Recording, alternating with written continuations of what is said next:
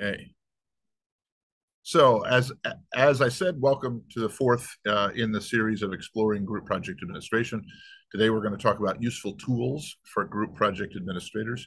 And what I thought I would start, because that's a very broad subject, and we talk a lot. If you're on social media and you've asked questions about tools and so on, everybody has opinions. Everybody has their their favorites. Everybody has the ones that they think are outdated or you know have been superseded and so on.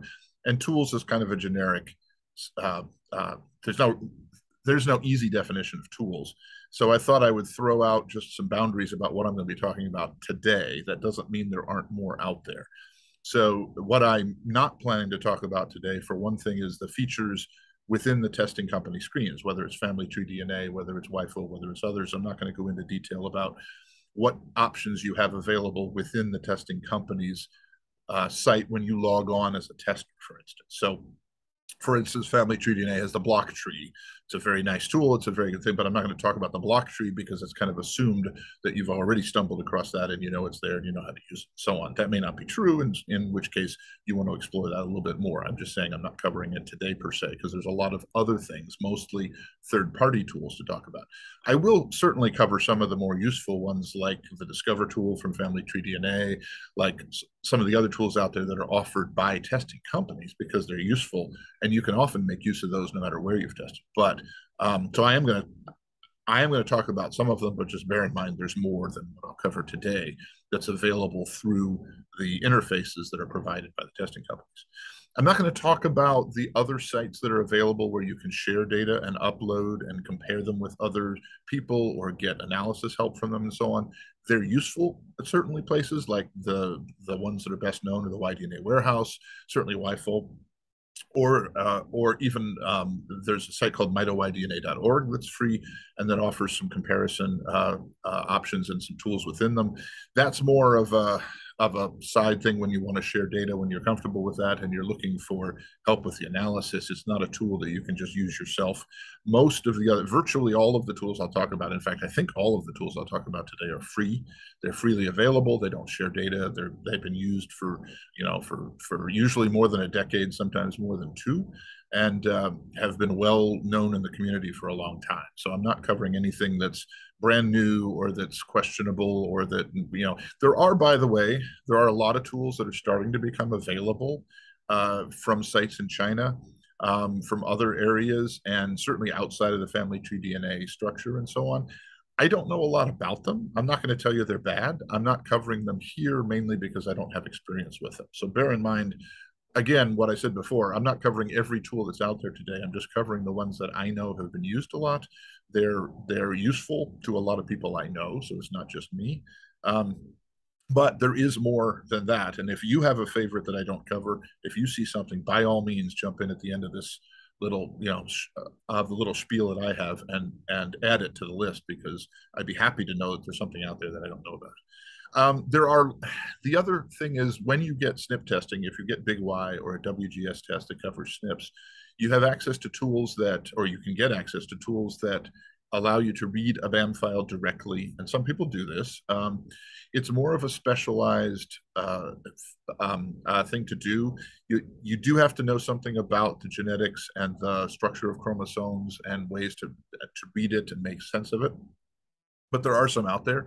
IGV is the integrative genomic browser, I think. Uh, there's WGS Extract and SAM Tools, which is a combined set of things. Randy Harr uses this a lot, as do others who do a lot with the, with the, the detailed files that are provided by NGS tests. Uh, there's what's called the US UCSC Genome Browser, which I actually am going to talk about as a resource because you can look at the reference genome with it, but um, but it also allows you to upload a BAM file or a VCF file or other files that you get out of your testing and examine those a little bit more detail. That's very useful if you want to get to that level of detail. I'm not covering that level of detail here today, though. And then, of course, there's a lot of tips and tricks that people use. There's forums that people ask questions on. There's educational resources people go to. There's websites out there where people like to go and find information and so on. Those are all great as well. They're not tools in that sense. And because I have limited time today, I'm not covering everything under the sun. So I'm skipping those as well. So just to give you an idea of where, when I was putting this together, I kind of defined those as we'll hold those later there's a lot of useful information in a lot of those things that I just glossed over. Don't think that, that that's uh, uh, that that's not useful. It's just not part of what I'm talking about today. Um, this chart is something I just about a week ago put a five minute video out on the channel that these um, that these videos are on. If you want to take a look at it, if you want to, um, this is just how I draw the group project administrator function. So I break it into three main areas. One is just at the bottom in red is the, is the general project administration, keeping the website active, keeping stuff up to date, you know, posting things on there, the um, managing the activity feed, that sort of thing. Um, in blue in the upper right is the analysis functions, right? It's getting into the genetics of it. It's understanding what a kit is telling you, helping a member understand why they match another member here but not there, um, understanding if a SNP is good or not, kind of getting into that detail, uh, as well as analyzing your subgroups, figuring out who's related to whom, how the branching worked, mapping that to genealogies and uh, assessing subgroup origins and a lot of the other things that we do as project administrators to kind of make sense of all the data that we're confronted with. And then over in the green, of course, is once you have all that analysis, you're communicating it back out to your members. You're helping them understand what they got out of their tests. You're helping them understand what new insights or new things that they've that that you've been able to deduce about their subgroup. You're helping them understand where they should go next, what they should do, if they should upgrade, if they should find another tester, if they should get someone, you know, far away to test or close to test, and so on. And you're also probably going to recruit new members and doing other things yourself. So there's that's I I sort of break it down into those three areas. Now I'm going to get even more complicated on you. Um, because if I take that and I take a whole bunch of tools. so the pink things are tools, and I'll talk about this in a little bit more detail. I'll get into some of the details of this, but this is kind of the overview chart, right? So I took a whole bunch of tools and I sorted them into categories and I tracked them back to the functions of a group project admin and said, this is kind of where I see these tools fitting in. Now, some of these tools have multiple purposes, right? Um, a tool may be good at drawing a tree structure, and that's a good analysis tool but it also helps to communicate with your members because you can take that tree structure and send it to them. So that so that would serve dual purposes. For the most part in some cases i've drawn these white lines to uh, you know to several boxes that help. But in most cases i've i've just put a tool into the major function that i think it it, it uh, fulfills but those of you who have used a lot of these tools will know that you've used them for different purposes as well. So if I go around, you know, I'll, I'll start down in, in the red. The only tool that I know of that really helps with project administration, this is the mechanics, right? It's keeping websites up and doing things, is the GAP, the interface itself that's provided by Family Tree DNA for the most part. There are a few tools that are available uh, um, in the groups that are provided by YFull, but the groups that uh, that are offered by Family Tree DNA obviously have a lot more structure to them. Now we all complain about certain things that aren't done well or the slowness of it and so on. It's about a 20 year old system right now, so it could stand some upgrades, but it's the best we've got, and I think it's they've done a pretty good job, and I have to give them kudos for popularizing, as I said, the project administration function with that interface. So that's really the only tool, the only third party tool I know that does a lot of that stuff. Although, if I come around counterclockwise, group sorting and predictors, this is where you're taking, you're either breaking a, a group into, you know, who's related to whom and where are the subgroups, or you're trying to to take a brand new uh, tester and say where do they belong so there's a few tools for doing this. I'll talk about those in detail. They're they're on here, but I'm not going to ask you to read all this. I'm just giving you the broad categories now. If I go up a little bit, there's a whole bunch of subgroup analysis that help us analyze our information. So some of it is what they call TMRCA tools, right? That's, that, that stands for time to most recent common ancestor. And it's the tools that do the age estimation for how far back the, the, the common ancestor is for a subgroup or for any two pair of testers. Um, when you're talking about Y-DNA, this is done obviously back thousands of years, and the question is, are they related in a time frame that I care? Are they related too far back? Are they going to help me break through a brick wall? Are they going to help me at all? You know, are are they related when I don't think they are? You know, and, and so on. So, um, and and there's a number of different tools. They're mostly either um, um, they're they're estimating either based on STRs or on SNPs. There's different kinds, but there's a lot there as well. Um, if I go up, uh, the phylogeography tools, those are the tools that map the SNP trails, the migration tools, the ones that estimate based on the current set of testers where the SNPs have have been in their history and when that happened. So they combine the age analysis with a mapping of the likely path that those uh, ancestors took to reach us. Um, there's various ways of doing that. We'll talk about those in a second. Subgroup analysis is the more general, what's the branching within this subgroup? How does this work? Um, you know, who's related to whom, uh, who shares a SNP, and obviously the block tree is a big part of that. Outside of the block tree, there's other tools available. We'll talk about that as well.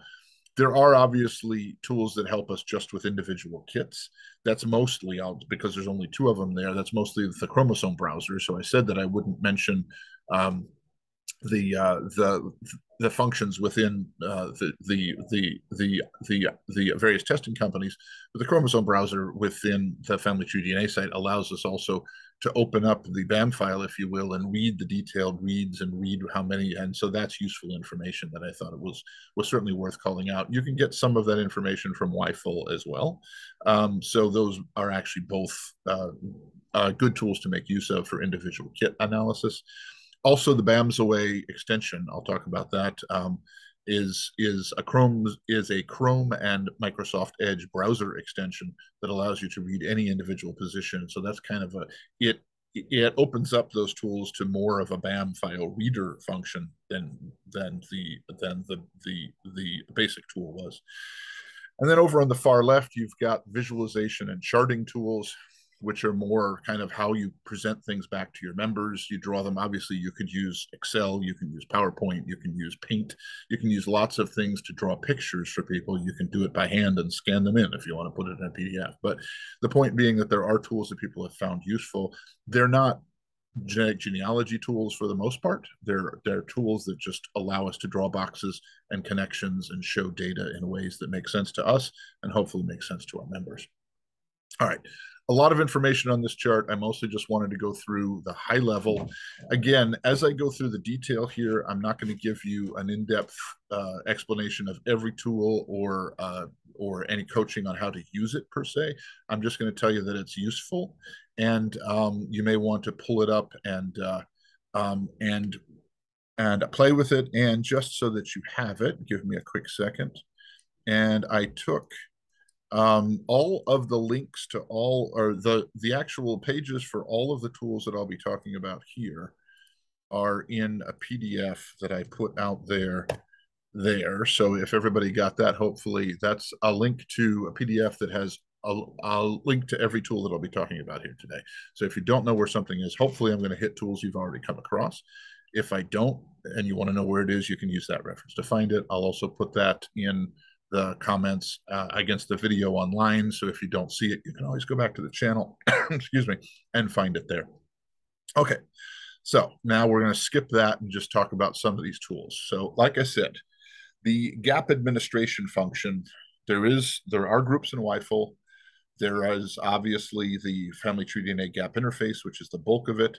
If you're doing your own website and presenting your results back that your results back that way, which a lot of people do, I just happen to steal this example from the Maxwell clan, who does a lot of DNA analysis. They've got an extensive genealogy and uh, very close mapping to the SNPs and the STR um, um, that have broken up since their since the start of the Maxwell clan.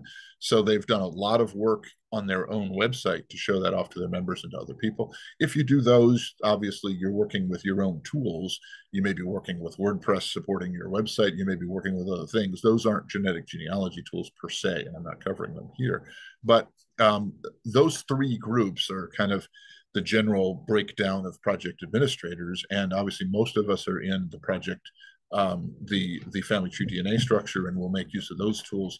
There's not a lot else to do, just basic website management that I know of, apart from if you're spinning your own thing like the Maxwells did or like anybody else does, then you'd be doing your own thing on that, right? But there's no real genetic genealogy tools for support of that. Um, if I look at group sorting and predictors, so these are the ones that allow you to take that say, you know, who's who's more close. So I've got a group that all end in the same surname.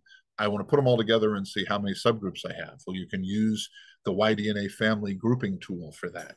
You can use the Y-seq clade finder for that. You can use NevGen or you can use Morley in order to predict from STRs what likely SNPs uh, a tester may have. So if you have a tester that's only tested um, the STRs, you can plug their STRs into there and it'll tell you with a fair degree of detail. They're they're better at it or they're more detailed at it, I would say, than family tree DNA is when a tester tests only STRs and gets back an R-M269 estimate on their haplogroup. That's because family tree DNA is fairly conservative at estimating those. They probably could get more detailed if they if they wanted to try, but they don't want to take the chance of being wrong and then getting the bad PR of you tested, you told me I was this, and it, and it turned out that I wasn't. You don't know what you're doing, right? I mean, obviously that's a risk for them. Whereas if you if we have a third party tool that does it, then we're looking at it as well. That's probably true, but I don't know for sure, so I better test in more detail to find out, right?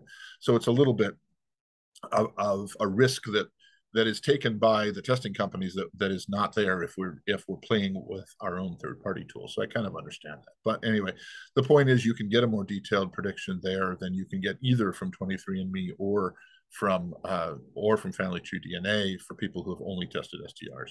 And then you also have Robert Casey. I'll give a shout out for him. Um, uh, about his L21 predictor tool, which has been around for a long time. He's updated it many times.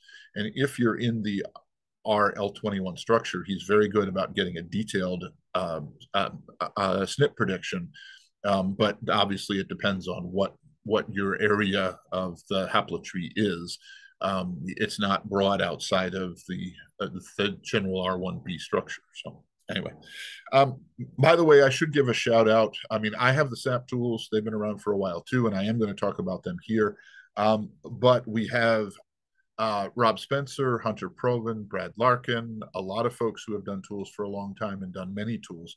There's also folks that did tools a long time ago, like Felix Immanuel, Whit Athey, and some of the others. Um, and uh, you know, there's there's there's uh, Doug McDonald, who did the McDonald predictor. Um, a lot of people have done really good tools and have been out there for a while. I know Rob Spencer and Hunter Provyn, for the most part, are doing new tools all the time. They may come out with new tools while I'm talking about these, by the way. So, um, you know, that's that's. I would just give a shout out to those folks who have supported the genetic genealogy community, especially on the Y-DNA side, for many years, for more than decades, um, and uh, have provided them all for free. So, you know, the SAP tools out there too but it's by no means the only one. There's a lot of people doing good tools out there, which just sort of, I think, lends to the fact that these tools are needed, and we probably need them in other areas too. Um, the other subgroup analysis tools besides SAP, I'll talk about that in a minute. There's the STR Match Finder from Hunter Provyn that allows you to put in, um, that allows you to go out, it, sorry, it goes out and it looks in public uh, Y-DNA um, uh, projects for people that may match you so that you can look for matches. Obviously, if you have matches within your system, you find them that way. But these are people that may be beyond those match structures and may still match you. So you may want to use that in order to find people to invite to your project. You've got Rob Spencer's SNP Tree Explorer, which gives you um, a good mapping of the haplotree and age analysis and surname analysis around it and so on. So as you're getting started, if you need a broad uh, view of a particular haplogroup or something, you can use that. It's always useful.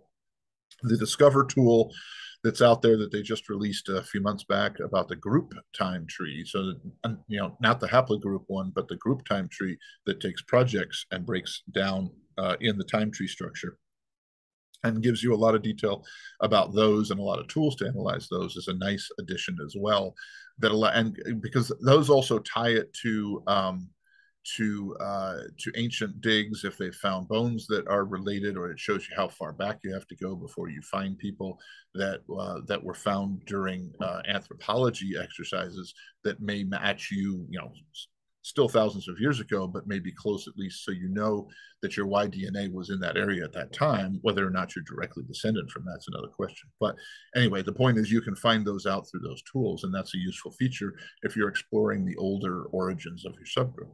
Um, but it also gives you pictures, like I said before, this also gives you pictures that you can share with your members. It may be a nice way to explain it to them and so on. So there's other uses for these tools as well.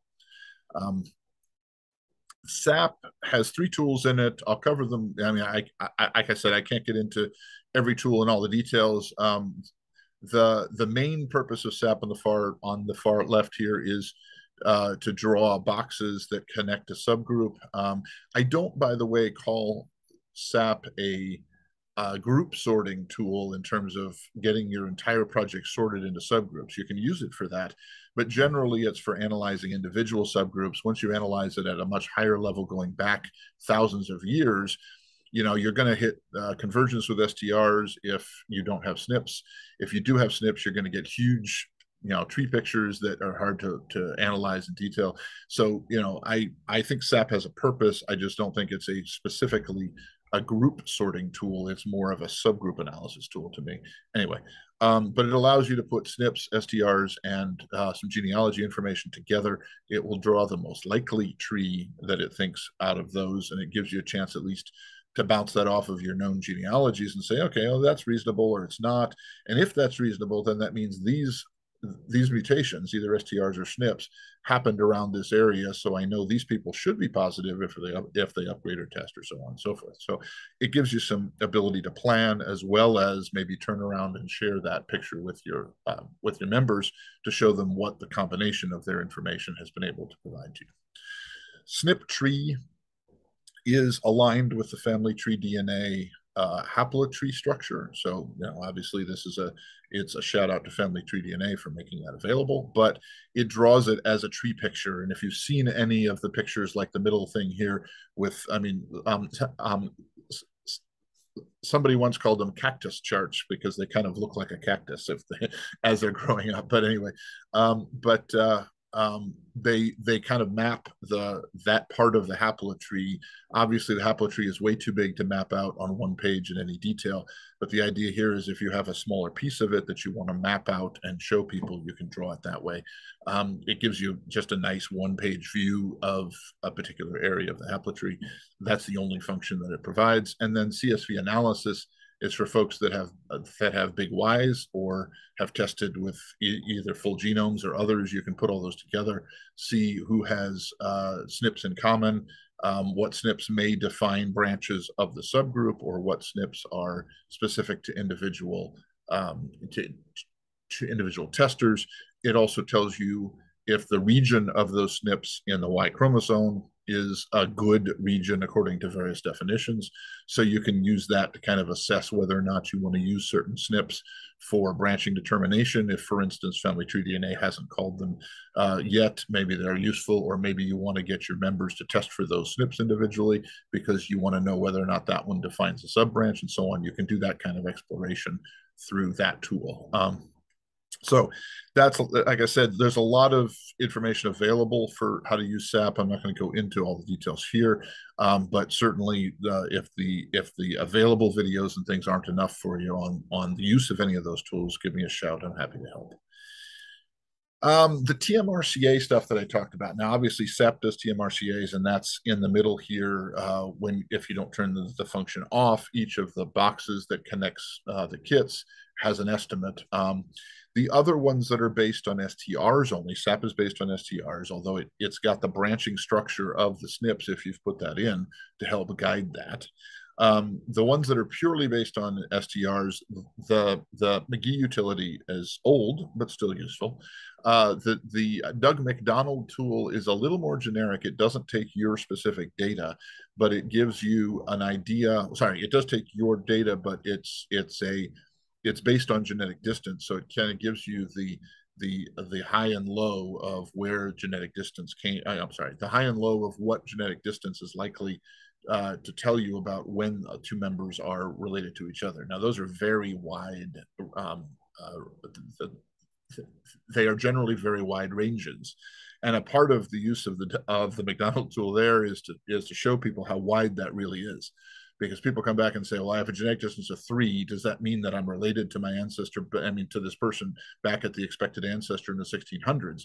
Short answer is maybe, um, because that could be anywhere from you know four to 20 generations back and that doesn't give you enough detail to really narrow it down but that tool actually is useful if you're trying to show that kind of range because you can explain to people that statistically there's a wide range in which those things can fall so anyway but now that we have the the the discover tool which is on the far right here it's probably um, the most the one that's most that is based on the most detailed information because it includes strs and SNPs in recent time frames. It doesn't go back, I think, more than about a thousand years with SNP with, with STRs, but that's usually appropriate because STRs get too noisy on long uh, expanses of time to be able to be reliable. Um, but it uses the SNPs as well for longer ex, ex, expanses of times, and it goes across the haplotree and since family tree DNA has the most extensive haplotree, they have the most information available to do that kind of analysis.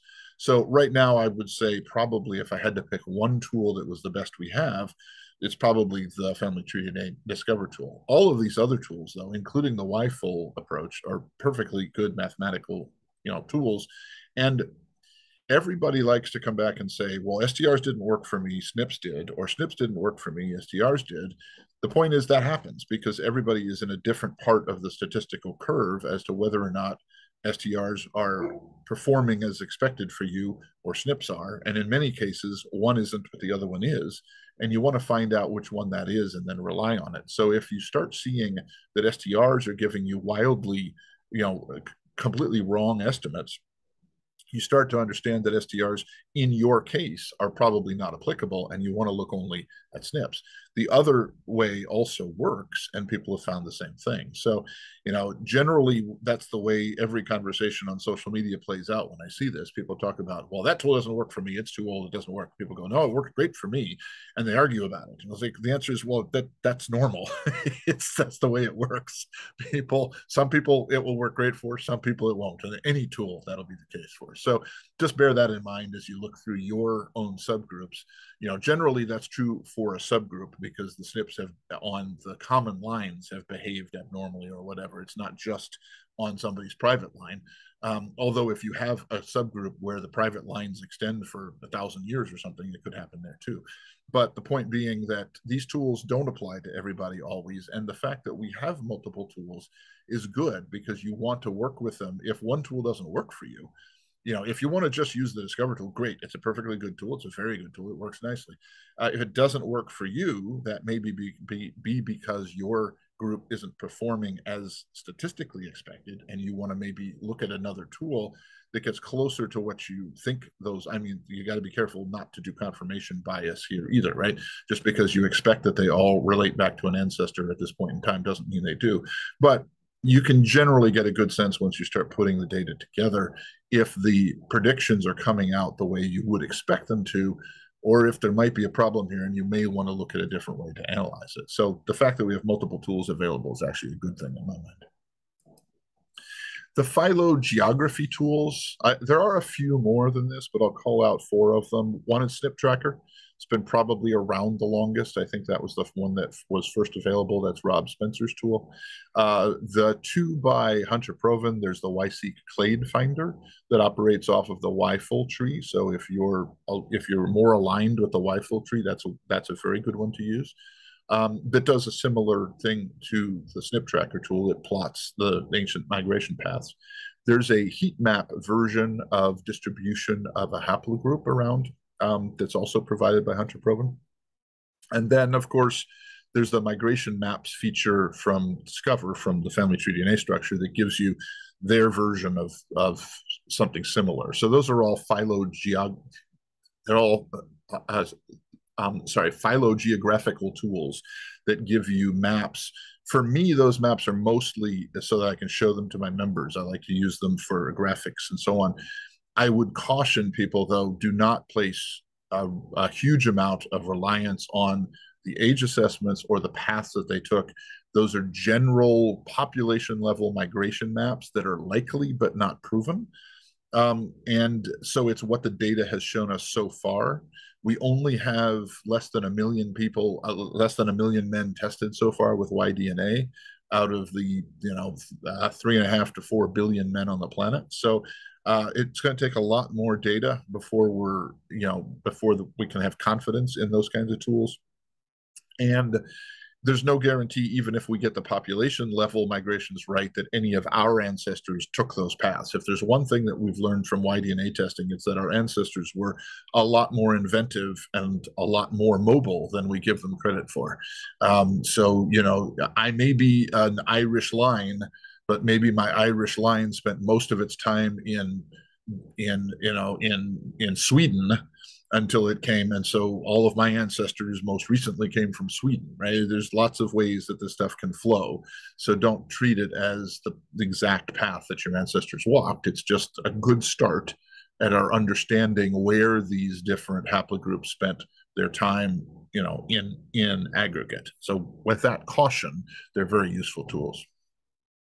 Um, the the way that I define the visualization and charting tools is the ones that really don't have much to do with genetic genealogy itself. They're not operating off of off of data to produce a tree like SAP, except that they're um, that they're producing a tree structure based on the structure that you give them in order to help you explain what you've been able to find. So Phylip, for instance, is a phylogeographical tool, which means that you provide it data and it draws a tree. Um, you can do something very similar through Lucidchart, which a lot of people like.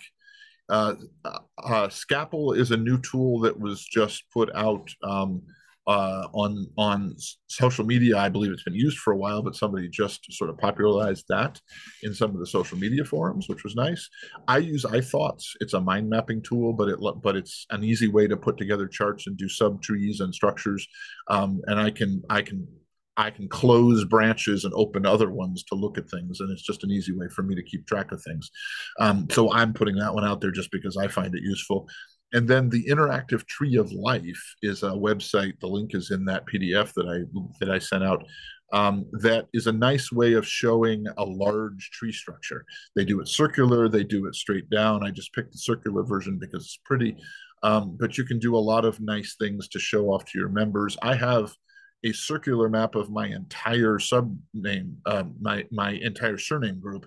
All 16 of the of the subgroups are mapped on one chart with the circle. I mean, it's impossible to read the individual kits, but the point is the relationships between all the subgroups. And um, so I've made a nice, pretty chart that I can put out there for my members to look at and see where they belong, you know, within the context of everyone who has a R last name.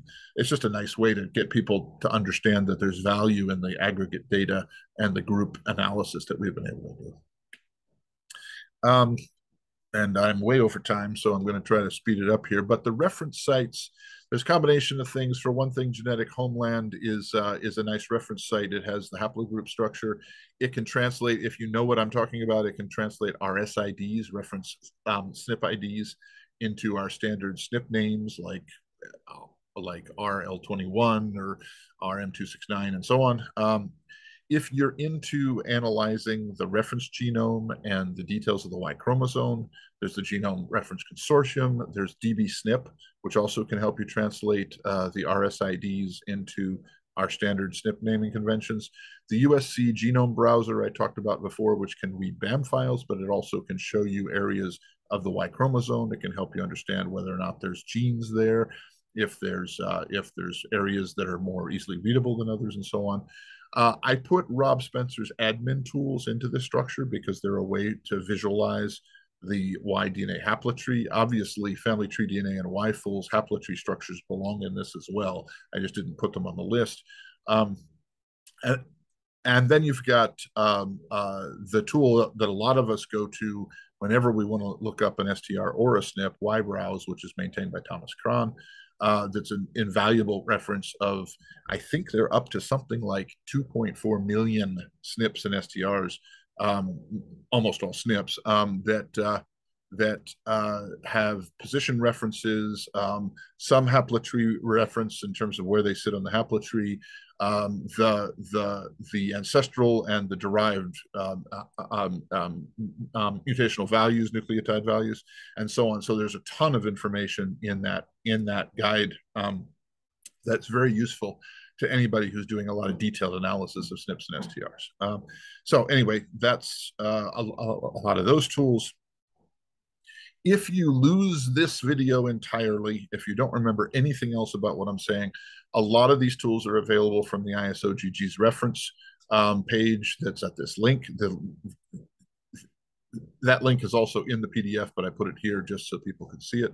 Um, and um, uh, it's got uh, almost all of these tools, plus a lot of older ones that I didn't put into this presentation.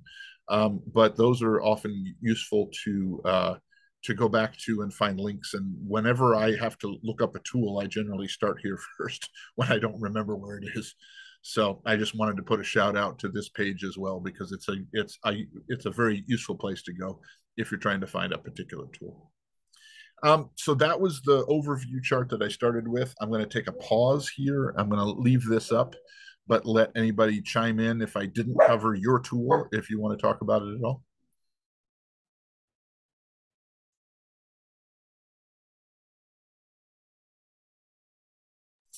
Going once, going twice. Come on.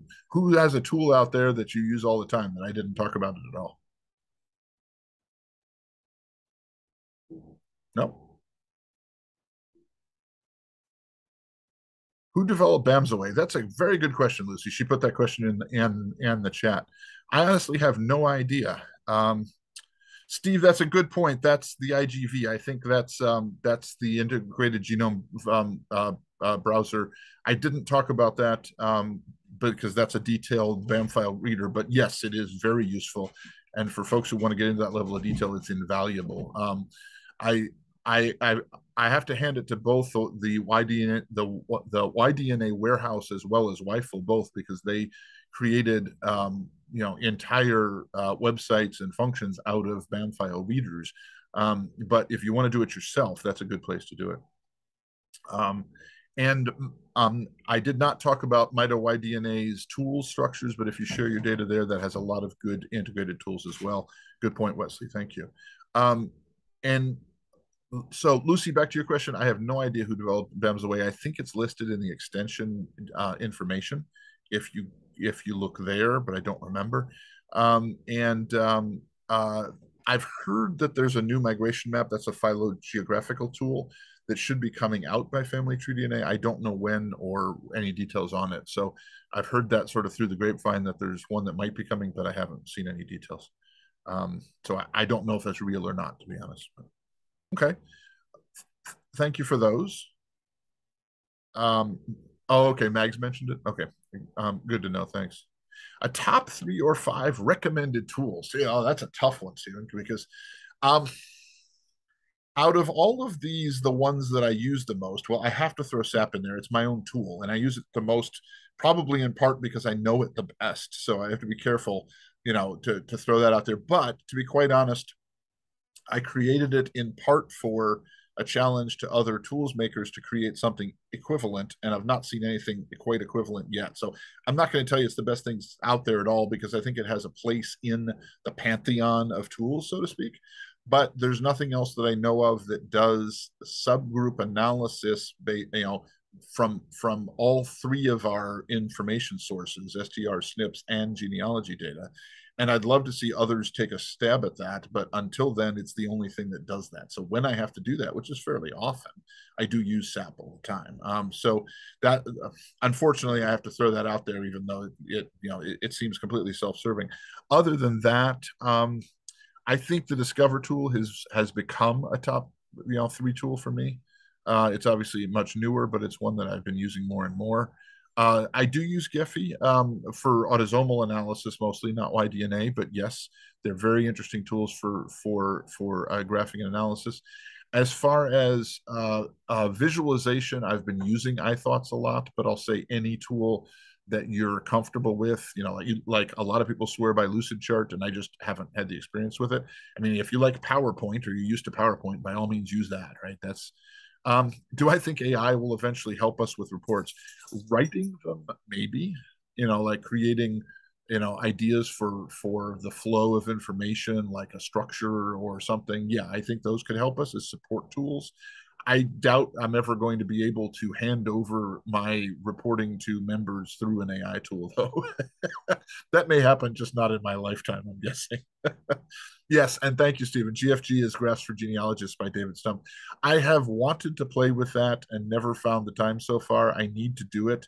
Um, and uh, um, I've I've uh, I believe it. I mean, it, it's certainly useful for autosomal. I've seen the the the information based on that. I don't know how if if it's applicable for Y-DNA, it may very well be. It probably is. I just haven't gotten into the details of figuring that out.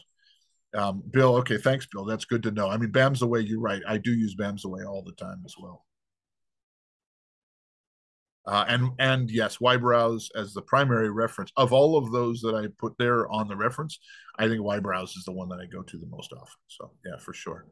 Um, DNA uh, uh, GEDCOM or GEDCOM, yes, that, that, that, that that's a good one as well. Again, I think that's that's autosomal. The one thing I didn't talk about is if you're integrating autosomal with Y-DNA, especially, right? I mean, a lot of people do very good work by combining those. I have not, I don't have a tool that I would recommend if you're doing that specifically, just because all of these tools have some aspect of, you know, a piece of that. But I don't know of a tool that allows you to combine those two automatically and do it for you. Even SAP doesn't do that. It doesn't have a function for autosomal data. Um, but um, but anyway, so that might be an area that a new tool would be helpful if we had something that that did more cross, you know, um, that that helped integrate. There are obviously, if you go through, for instance, Family Tree DNA, if you go through the reports, you can you know filter by different pieces of it and so on, and you can combine the look of autosomal or at the Family Finder tests with the Big Y test or whatever, and you can do a lot of analysis that way. That's about the only place that I can think of that you can actually combine both sets of data into one analysis thing. But a lot of people do very good work without it. And and by the way, I mean a lot of people do very good work with Excel too. I've seen lots of really interesting stuff done with the basic Excel tool. So I don't want to. I just don't consider that a a third party genetic genealogy tool, although I do use it all the time as well. But uh, you know, um, certainly I I would put that on. I'll, I'll, I'll, if you're not familiar with spreadsheets, I would say that's a good thing to learn because it comes in handy right, for anything that you're doing. Um, okay, so what else is there, folks?